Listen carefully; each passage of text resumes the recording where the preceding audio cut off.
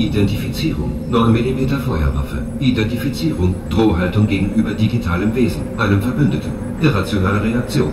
Kandidat ist übermäßig nervös. Jetzt Anlass für übermäßige Nervosität. Strategie, jage diesen Geist.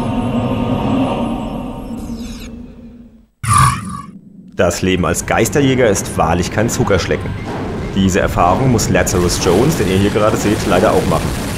Der Brad Pitt-Verschnitt, seines Zeichens Polizist, gerät unfreiwillig in einen mysteriösen Fall. Bei dem Erforschen einer verlassenen alten Schule stoßen Jones und seine Partnerin auf Geisterwesen. Diese gehören zur Sammlung eines Professors, der offensichtlich einen Hang zum Okkulten besitzt.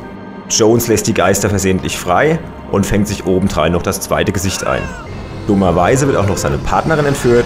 Keine Frage, dass ihr euch auf die Socken macht und versucht, die Dame wiederzufinden. Hier schlage ich mich gerade mit einem typischen Geist rum und ich zeige euch jetzt mal, wie man einen Geist einfängt.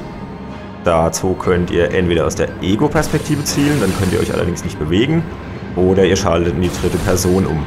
Einige Geistertypen muss man mittels eines Wurfdiskus erst in der Realität manifestieren, dann könnt ihr sie anschließend mit einer der zahlreichen Bomben blenden.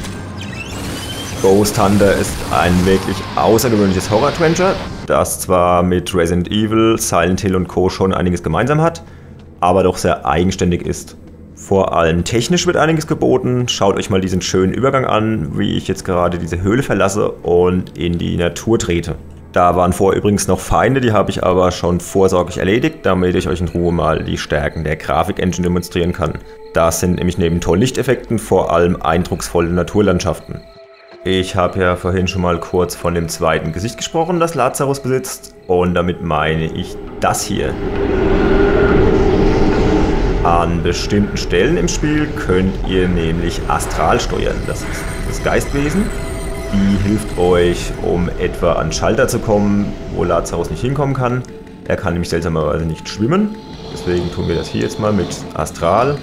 Und sie kann sich dann auch für kurze Zeit auf den Boden stellen, um dann etwas Schalter zu drücken, etc. Einige Rätsel mit Astral wirken doch etwas abstrus, aber insgesamt doch eine wirklich sehr nette Idee.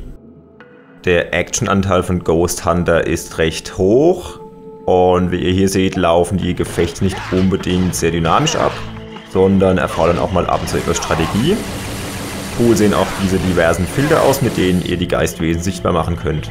Leider ist die Steuerung etwas unpraktisch geraten, vor allem das Umschalten zwischen den Waffen ist etwas umständlich. Lebens- und Waffenenergie hinterlassen euch übrigens abgeschossene Feinde, das sind dann diese Energiebälle hier.